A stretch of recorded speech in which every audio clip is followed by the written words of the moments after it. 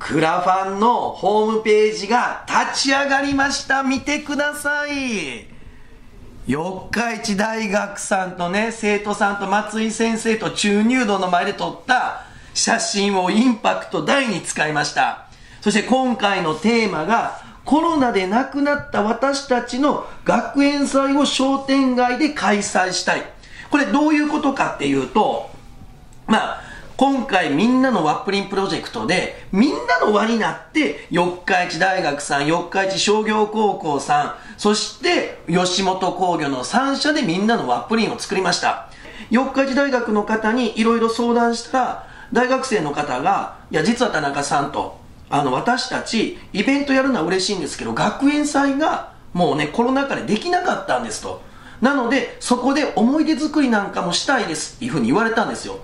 じゃあ何がしたいって言った時にみんなのやりたいことをこうまとめたらまあねこれ残念なことに予算が足りなかったんです。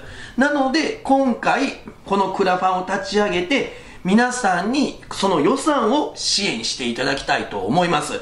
返礼品は四日市大学の皆さんと一緒にですねもう内容が十分ねあの面白いものを皆さんに届けれると思います。そしてみんなのワプリこちらもですね、その返礼品に入っておりますので、ぜひともですね、皆さん支援よろしくお願いします。目標金額は10万円です。もう達成したいですね。で、たくさん皆さん申し訳ないですけど、支援よろしくお願いします。愛知県住みます芸人の小鈴木くんのプロジェクトの撮影があるんですよで撮影が終わったら起こしたこのクラウドファンディング支援してもらえないかこうね SNS の告知も手伝ってもらえないか相談しようと思います。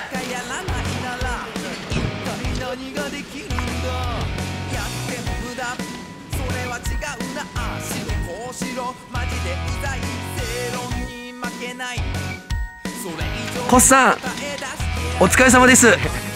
なんで回してんすか？コッさんいやプロジェクト動画お疲れ様です。終わったやん撮影お願いしたいことがあるんですよ。何すか？実はですね三重県のワプリンプロジェクトでクラウドファンディング立ち上げたんですよ。おめでとうございます。ありがとうございます。そこでですねやはり告知を SNS でいいので手伝ってもらえないかなと思って。なんで動画撮ってんですか？はいもう約束してもらおうと思って。なるほど。はい。いやいいですよちょっといいですか？井槌さんも今日いらっしゃるんで。井槌さんとか言うなよ。井槌さんちょっと中入ってください。井槌って言ってるじゃん。あ井槌さん、はい、コスさんクラウドファンディング手伝ってください、はい、告知はします？であのできれば支援の方あのお願いしたいなと思って井槌さんの方からコスさんにお願いしてもらえないですか、はい、そうですね。小杉さん、はい、お願いします。まあ井槌が言うならねあ本当ですか？えちなみにこのリターンで資金が集まれば、これイベント費用に充てるんですよ、はいはいはい、なので2人のカップル漫才もやらんやらんやらん。カップル漫才と目をと両方おかしいわ。支援も含めて SNS での告知よろしくお願いします。じゃあまあ詳細また LINE しといてください。了解です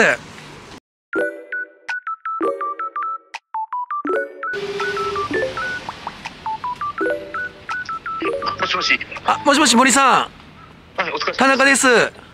はい。今大丈夫？あ今大丈夫です。あのみんなのワープリンプロジェクトって知ってます？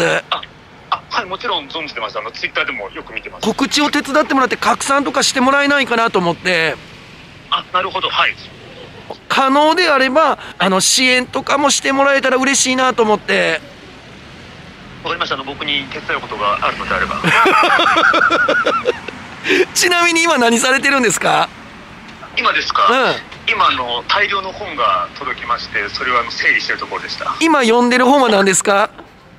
手元に持ってる本。今読んでる本ちょっと待ってください。手元にある本今本当に今本当目の前にある本でよろしいでしょうか？あそれでいいです。タイトル教えてください。今読んでる本がえっ、ー、と短時間で成果を上げるできる人の勉強法っていう本です なんか今の僕たちに言われてるような感じでうまくいけば森さんとかこの岐阜県もねコラボしたいなと思ってるんではい。よろしくお願いしますぜひお願いいたします。えっと今簡単に言うと、えっと89とはいで土日ですよね、はい。9が日曜日で、はい。で今の段階だと,、はい。えっと四日市商業高校さんのブラスバンド部がはい。8日土曜日にステはい。で、えっと四日市農芸高校さんが9日日曜日、おー。今の段階だとダンス。かぶせ茶カフェの清水さんの、えっとお茶イベント。でこっちどんなことするんですこれはもうあの実際に美味しいお茶の飲み方とかあったかいお茶を出してるで、はい。これにクラウドファンディングの費用とか少しちょっとあの買い取りであの、は出すって言ってお湯ができるサービスとかつ机をもしかすると商店街で借りなきゃいけないかもしれないあ大丈夫でですす大丈夫です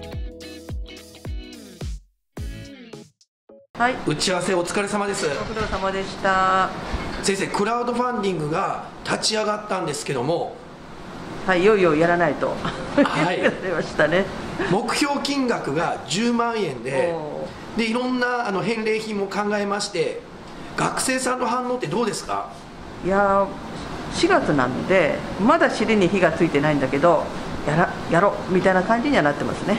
おお学生さんの方から何かやりたいことって出てきましたか？うーんとね一緒に話したんですけどなんか丸×クイズとかやってみたいなとこんな話になってますね。あ面白いですね。でか勝ち抜いた方には豪華変なんかプレゼントみたいなぜひ来てほしいなっていう話ですね。で今たくさんの方がイベントに出演が決定して手伝ってくれるそうなんですあよ、素晴らしい。で学生さんの方にもそれ伝えたいので、はい。またちょっとアポ取ってお邪魔しに行ってもよろしいでしょうか、はい、ぜひぜひお越しください、じゃあ先生引き続きよろしくお願いします、はい、よろしくお願いします